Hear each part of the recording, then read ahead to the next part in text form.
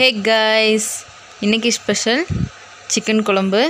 கொஞ்சம் டிஃப்ரெண்ட் ஸ்டைலில் வீடியோவை ஸ்கிப் பண்ணாமல் பாருங்கள் இதில் நான் ஒரு சீக்ரெட் டிப்ஸ் சொல்லித்தரேன் வாங்க வீடியோக்குள்ளார போகலாம்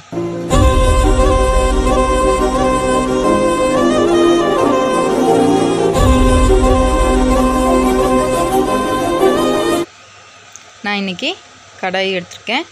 கடாயில் எண்ணெய் எதுவும் ஊற்றாமல் ரெண்டு கிராம்பு ரெண்டு பட்டை ரெண்டு ஏலக்காய் ஒரு கைப்பிடி அளவுக்கு மல்லி. இது எல்லாத்தையுமே நம்ம வறுத்துக்கலாம். எண்ணெய் எதுவும் சேர்த்த வேண்டாம். வெறும் வடை சட்டியில் இதை நல்லா நிறம் மாறுற வரைக்கும் வறுத்துக்கலாம். அடுப்பை லோ ஃப்ளேமில் வச்சுக்கோங்க. இப்போ இதில் ஒரு ஸ்பூன் அளவுக்கு மிளகு ஒரு ஸ்பூன் அளவுக்கு சீரகம் ஒரு ஸ்பூன் அளவுக்கு சோம்பு. இப்போ இது எல்லாத்தையுமே சேர்த்து நல்லா வறுத்து விட்டுறலாம்.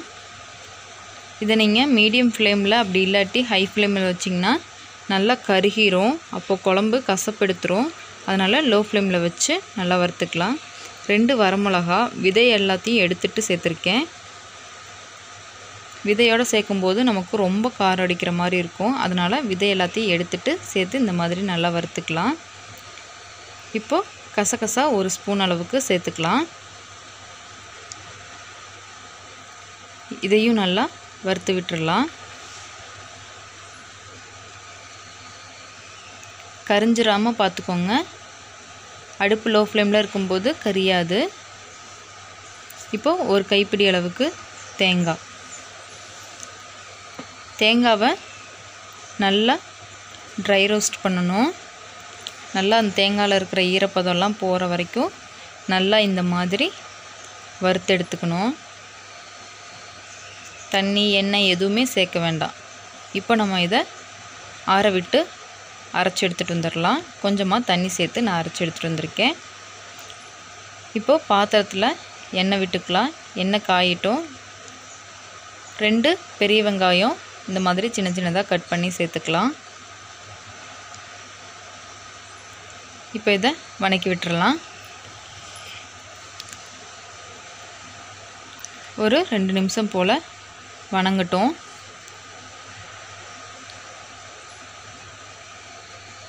ஒரு கொத்து கருவேப்பிலை சேர்த்துக்கலாம்.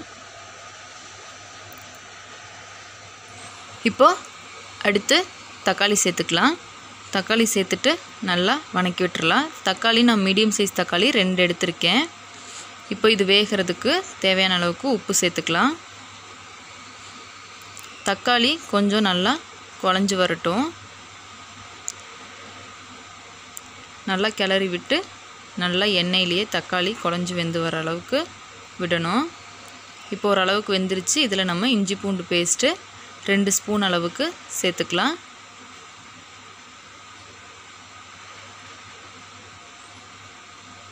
நல்லா பச்சை வாசம் போகிற வரைக்கும் நல்லா வணக்கி விட்டுடலாம் நம்ம டைரெக்டாக எண்ணெயில் இஞ்சி பூண்டு சேர்த்தும் போது எண்ணெயிலேயே எல்லாமே தீஞ்சிரும். அதனால் இந்த மாதிரி தக்காளி வணங்கினதுக்கப்புறம் சேர்த்துறோம். இப்போ கொஞ்சமாக மஞ்சத்தூள் காரத்துக்கு ஏற்ற மாதிரி மிளகாத்தூள். இப்போ இதை நல்லா வணக்கி விட்டுடலாம்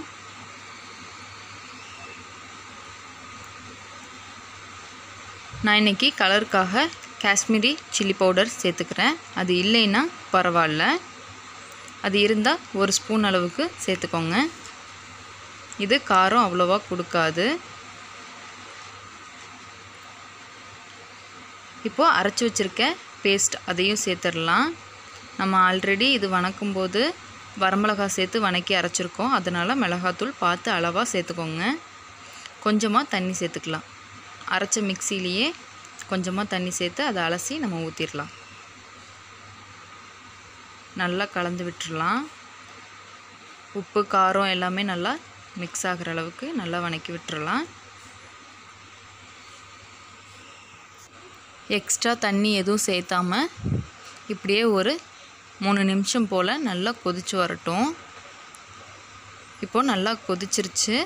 ஒரு கிளறு கிளறி விட்டுட்டு இதில் நம்ம சிக்கன் சேர்த்துக்கலாம். நான் இன்னைக்கு ஒரு அரை கிலோ போல் சிக்கன் சேர்த்துருக்கேன். நம்ம எடுத்துருக்கிற மசாலா எல்லாமே இந்த அரை கிலோ சிக்கனுக்கு அளவாக கரெக்டாக இருக்கும். நீங்கள் அரை கிலோ சிக்கனில் குழம்பு செய்ய போகிறீங்க அப்படின்னா நான் எடுத்துருக்கிற அளவு எடுத்திங்கனாலே கரெக்டாக இருக்கும். இப்போ இதை நல்லா பரட்டி விட்டுடலாம்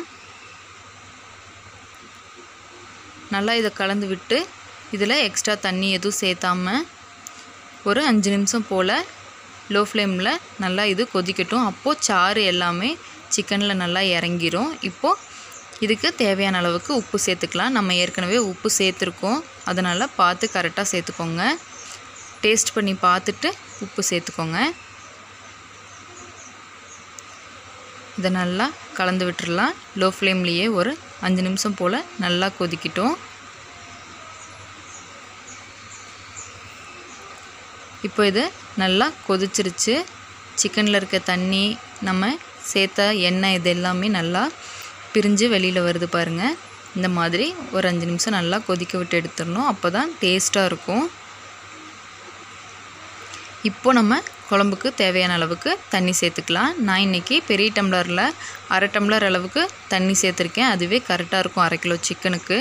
நீங்கள் இன்னும் கொஞ்சம் குழம்பு தண்ணியாக வேணும்னா இன்னும் கொஞ்சம் கூட எக்ஸ்ட்ரா சேர்த்துக்கலாம். இப்போ இதை மூடி போட்டு ஒரு பதினஞ்சு நிமிஷம் கொதிக்கட்டும். இப்போது நல்லா கொதித்து குழம்பு ரெடி ஆயிடுச்சு பாருங்கள் எண்ணெய் எந்த அளவுக்கு திரிஞ்சு வந்திருக்குன்னு. இதில் நம்ம ஒரு ஸ்பூன் அளவுக்கு தயிர் சேர்த்துக்கலாம். இதுதான் நான் சொன்ன இந்த சீக்ரெட் டிப்ஸ் இப்படி தயிர் சேர்க்கும்போது குழம்போட டேஸ்ட்டு சூப்பராக இருக்கும். ட்ரை பண்ணி பாருங்கள் இப்போ இது நல்லா கொதித்து குழம்பு ரெடி ஆயிடுச்சு நல்லா தயிர் சேர்த்து கிளறி விட்டுறலாம். பாருங்கள் எண்ணெய் எல்லாம் திரிஞ்சு வந்திருக்கு பாருங்கள் இந்த மாதிரி குழம்பு கொதிக்க விடணும். அப்போ தான் டேஸ்ட்டாக இருக்கும். இப்போ கொத்தமல்லி சேர்த்து நல்லா கிளறி விட்டுறலாம். இதை நம்ம மீடியம் ஃப்ளேமில் வச்சு ஒரு பத்து நிமிஷம் ஒரு பதினஞ்சு நிமிஷம் போல் நல்லா கொதிக்க விட்டோன்னா கறியும் நல்லா வெந்துடும் குழம்பும் நல்லா டேஸ்ட்டாக இருக்கும். அடி பிடிக்காமல் அப்பப்போ கிளறி விட்டுருங்க. பாருங்கள் குழம்பு சூப்பராக ரெடி ஆயிடுச்சு அவ்வளோதான் ஃப்ரெண்ட்ஸ் ஒரு டைம் இந்த மாதிரி ட்ரை பண்ணுங்கள் கண்டிப்பாக பிடிக்கும்.